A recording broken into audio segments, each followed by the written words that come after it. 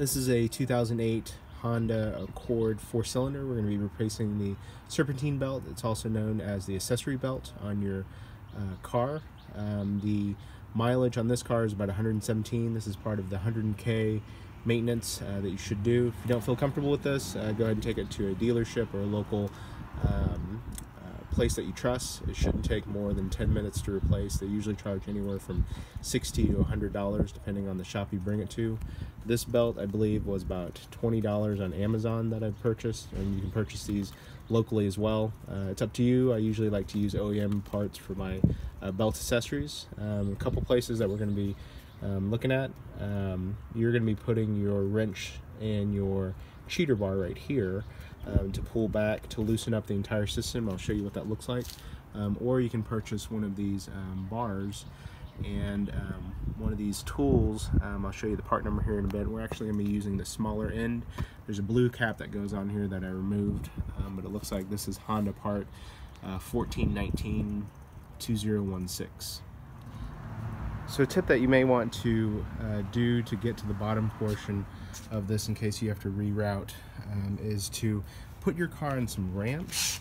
So as you put them on ramps, it may make it a little bit easier to get down to the accessory belt, um, which is going to be um, right here.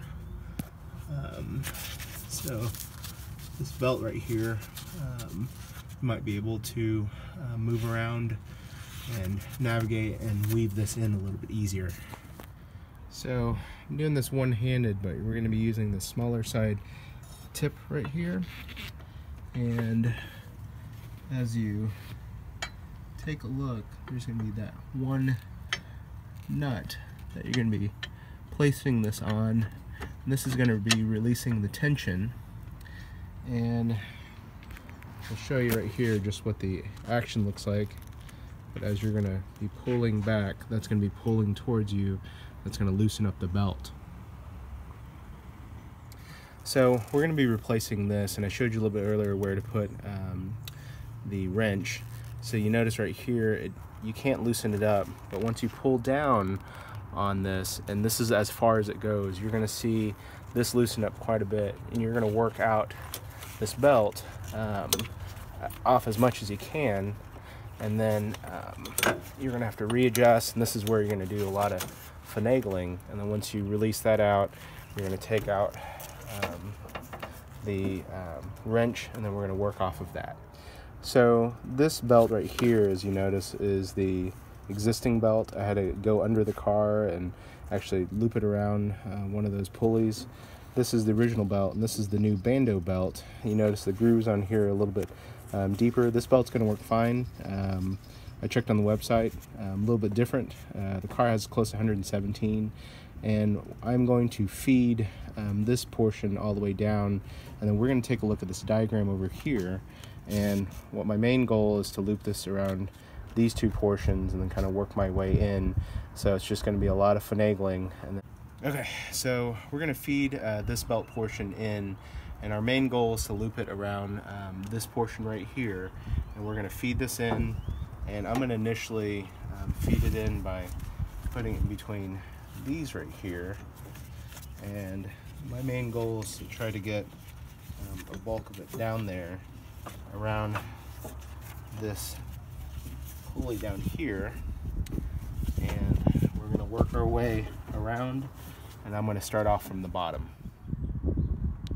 Alright, so um, I'm just working with one hand, but to get this back in, uh, we kind of install things in reverse order. You did have to go in the bottom to get um, this portion of the belt looped around. I started off with looping the belt around this portion and then looping around here uh, once you work um, everything over, the toughest part is being able to get leverage to get over um, this final part. So I've seen some videos where they've kind of done the last part on this portion, um, which is this part of the diagram right here.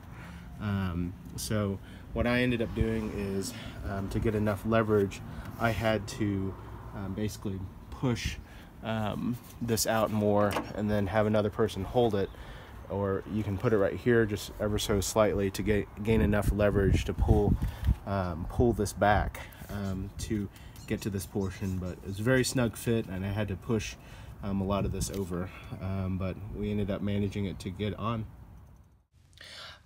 when I relook at this, I would probably reroute around number five since it's a smooth area and do that last.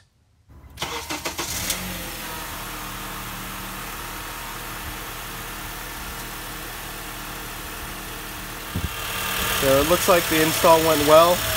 There's no noise. So hopefully this will be another um, good belt for about another 100K.